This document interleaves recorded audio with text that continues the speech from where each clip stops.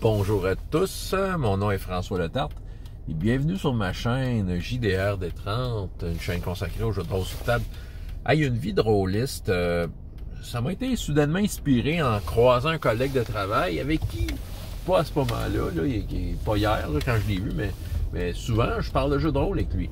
Parce que lui aussi, il aime ça le jeu de rôle. Il joue avec ses chums, joue à Dungeon, puis on parle de jeu de rôle, tout ça, puis tu sais, collègue de travail, parle, parle, genre, genre, puis quand est-ce qu'on se part une game?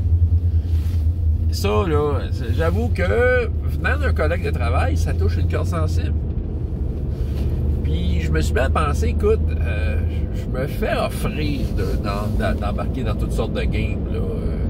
Puis en fait, ce que je raconte là pourrait s'appliquer aussi au monde de la musique. Je me fais offrir des projets musicaux là, une fois de temps en temps.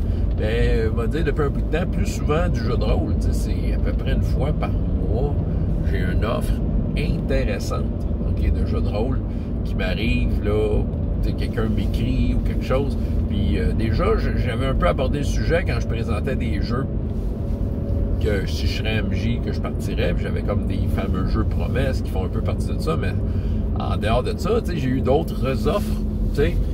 Fait que j'ai des offres qui viennent de part et d'autre, qui vont venir de gens que, à quelque part, à travers l'activité que je fais là, de m'enregistrer, de mettre ça public, ben c'est ça, il y a, des, y a des gens y a des gens qui vont essayer de me contacter parce qu'ils seraient intéressés de m'avoir dans le game. C'est flatteur, en fait. Je me dis, OK, ils ont envie de partager de quoi avec moi. Je pense que, tu sais, ça venant, venant d'eux autres, j'ose penser que c'est des gens qui sont à leur affaire, qui, tu sais, qui ont, qui, que c'est des rôlistes, euh, qui, veulent avoir une table de gens vraiment intéressés à le faire. C'est ça, je pense qu'il y, y, a de ça. Puis en fait, depuis que je fais ça, j'ai rencontré plein de gens avec qui j'ai joué, des tables super intéressantes. ma table, présentement, en tant que joueur, est composée euh, de gens rencontrés par Internet, ou en tout cas, du moins. Euh, ben, en fait, un. Si je regarde Uncharted Worlds, ben, Marc, ouais, c'est une rencontre d'Internet. dire, euh, je pense que ça a été chacun de notre bord. ça a commencé que moi, j'avais du YouTube, lui, il faisait un podcast avec des aventureux, puis de fil à, aiguille, fini par s'inviter sur des événements, puis tu sais, à, apprécier jouer ensemble. Ce qui fait qu'aujourd'hui, Marc, dire, fait partie des joueurs avec qui j'ai le plus joué depuis les dernières années, que ce soit en tant que joueur ou meneur de jeu. Euh, dire, Patrick, ben ça, c'est un peu comme une rencontre suite à une annonce. Donc, c'est pas quelqu'un que je connaissais, c'est ça. dans le fond, ça a été au départ ben, au départ, ça a été une annonce pour des fantastiques dans lequel j'ai dit Hey, j'ai du temps à ce moment-là. Je, vérifie si ça marche et ça a marché. Du moins, le groupe a démarré. Mais ben, le plan a changé. Je suis devenu meneur de jeu, genre à la troisième fois qu'on s'est rencontrés, parce que le meneur de jeu a débarqué après trois. Ah ben, il a juste fait deux fois que nous autres. Fait que finalement, son plan, il a, complètement débarqué. Puis c'est ça. Mais puis. Euh, PA, ben ça, c'est quelqu'un qui s'est retrouvé à des tables à Draconis en personne, que j'ai connu, que j'ai aussi joué un peu en ligne avec lui à Draconis. Je l'ai toujours vu à Draconis. Puis, tu sais, on avait besoin de quelqu'un. Je vous l'ai raconté quand j'ai pris à Uncharted Worlds. Il manquait comme une roue au carrosse. Puis, j'ai tendu ma perche à droite et à gauche. Puis, je me suis dit, hey, ce gars-là, il serait intéressant. Dans le fond, je suis allé le chercher pour des qualités que je lui connaissais euh, en tant qu'oliste pour former une table intéressante. Comme de fait, cinq séances de fait, euh, la sixième qui s'en vient, puis euh, j'ai super hâte parce qu'on a une table de gens intéressés et intéressants. OK? mais c'est pas des gens que je côtoie en dehors de ça. c'est ça qui arrive. Puis c'est pas que je veux pas. C'est juste que ça donne plus que pas. dire, on s'entend euh, il y, aurait peut-être Marc que j'aurais de possibilité de revoir en dehors de ça, parce qu'il habite pas si loin de ça que chez nous. C'est juste ça donne pas, parce que moi, en dehors du jeu de rôle, j'ai quand même une vie. Et entre autres, dans ma vie, ben, mes, mes relations sociales vont passer beaucoup par le travail, mes collègues de travail. Puis je me sens privilégié parce que dans tous euh, les, euh, les travails, tous les emplois que j'occupe, ben, j'en occupe quelques-uns, que ce soit des emplois à la pige ou euh, des emplois stables, ben euh, c'est tout du monde. il n'y a personne que j'aime pas. J'aime tout le monde. Vraiment. J'aime vraiment tout le monde. C'est ça, j'ai toujours. Je me sens privilégié dans. dans dans, mon. Euh, dans, ce pan-là de ma vie, c'est-à-dire le travail que je fais. Fait que, je suis entouré de monde que j'aime. Fait que c'est clairement. C'est du monde avec qui je vis des choses euh, au quotidien, tu sais. C'est ça. Fait que là, je parlais de tous ceux que, que, tu sais, les rôlistes vraiment intéressés, qui s'affichent rôlistes, qui ont des qualités de rôlistes, avec qui je peux faire des tables. Mais il y a aussi des collègues de travail qui ont peut-être pas les qualités de rôlistes nécessairement de ceux que je recrute en ligne parce qu'ils savent que c'est ça que je veux, c'est ça que j'aime, puis que j'aime.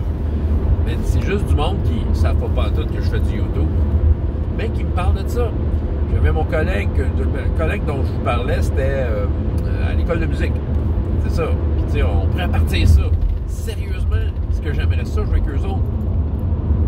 Il y, a, il y, a, une corde sensible qui se joue dans moi, là, parce que je me retrouvais autour d'une table à jouer à une activité intense avec du monde avec qui, couramment, j'ai une relation d'une certaine intensité. Ah, c'est ça. Puis, il y a aussi un autre de mes collègues euh, qui, euh, lui, euh, comment je pourrais dire, lui, c'est ça, il est déjà pas mal rôliste, tu sais. Puis, à présentement, c'est à la bibliothèque. Puis là, il a décidé, comme dans le comité, social, il veut partir d'une game de Pathfinder 2. Clairement, ça m'appelle, là, tu sais, Pathfinder 2 avec du monde avec qui je partage mon quotidien. Malheureusement, je peux pas. C'est ça qui arrive. C'est ça qui fait que ça on dirait que ça, ça m'attriste un peu parce que j'arrive. Je, me vois pas, euh, avec l'horaire que j'ai, être capable de faire ça, j'ai des cases horaires très, très, très précises. Fait que c'est ça.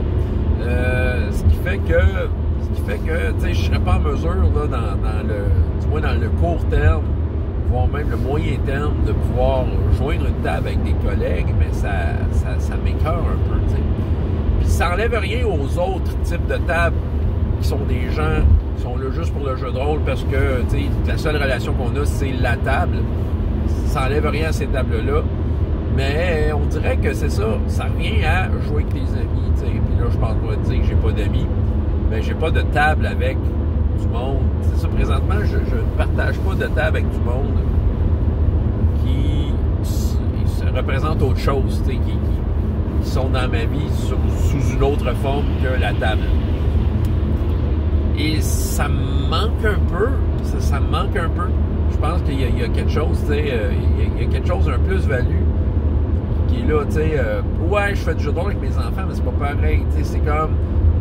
Je me laisse pas aller avec mes enfants. Avec mes enfants, tu t'adaptes. Tu adaptes ton style de jeu pour faire en sorte que ce soit acceptable pour eux. Ouais. Mais c'est ça, c'est ça que j'avais envie de vous raconter. Je ne sais pas vous, que, vos tables. Je dirais que la, probablement que la majorité qui m'écoute, c'est du monde qui font ça comme de la façon alpha. Là. Tu joues à du jeu de rôle avec tes amis. avec du monde. Puis euh, des amis, mais tu sais, des amis dans la catégorie ils sont aussi autre chose dans ta vie que juste autour de cette table-là. La plupart d'entre vous, c'est ça. Mais présentement, je m'aperçois que c'est pas ça. C'est ça. Puis je peux pas. OK, on s'entend, là. PA, Pat, Marc, je considère des amis. Mais je ne partage rien qu'eux en dehors de cette table-là. Ouais, on va avoir des conversations drôles sur euh, notre Discord puis tout ça, là. Puis, tu sais, je pense que. Je c'est sympathique, ça. Mais je pense que c'est ça qui me manque. Vous vous souvenez peut-être l'année passée, j'avais fait une série de parties que, dont je parlais des fois que c'était pour le groupe de rock Gros Soleil. Qu'eux autres voulaient faire une expérience de donjon. Malgré que c'était en ligne, c'était. Puis malgré que c'était avec justement des joueurs, c'était pas des rôlistes confirmés. Ils connaissaient pas donjon, il y avait tout à apprendre. Puis ils voulaient vraiment jouer à donjon. Ah, l'art de s'enfarger dans des règles qui servent à rien. Bon, ok, j'irai pas là aujourd'hui, mais reste que, quand même, c'était intense il y avait quelque chose d'intense. C'était de, de, faire triper du monde. Euh, tu sais, qui ont fait partie de ma vie, eux autres. C'est un bout que j'avais pas vu, mais tu sais, ils ont fait partie de ma vie. J'ai été dans un groupe de rock avec, sur les quatre, trois d'entre eux, partie très, très intense de ma vie. Une partie où ces gens-là, il y avait une fraternité qui s'était formée à travers la musique. Puis à l'époque, on se tenait beaucoup ensemble. on, dire, en dehors de faire de la musique, dire, nos cercles sociaux euh, se rejoignaient très, très souvent, plusieurs fois par semaine. C'était, tu dire, j'allais voir un film avec un, j'allais prendre une bière avec l'autre, on allait au restaurant avec un, puis on faisait, on faisait plein d'affaires ensemble, des sorties, tout ça. Tu sais, ça a été une période très, très intense de ma vie. Puis écoute, de leur faire ça, puis de leur faire plaisir, pour moi, on dirait que c'était une motivation. Tu sais, j'étais content de faire ça pour eux autres. J'étais content de leur donner ça, tu sais. Euh, puis c'est ça, parce que, parce que, c'est ça, ces gens-là étaient, euh, quelque chose de plus. C'est ça, il y avait le plus qui venait avec ce, un plus-value de partager de quoi eux autres. Comme je dis, ça enlève rien à peu près à toutes les tables de jeux de rôle que j'ai. Je veux dire, je suis assez chanceux en général. Je tombe sur pas mal des bonnes tables.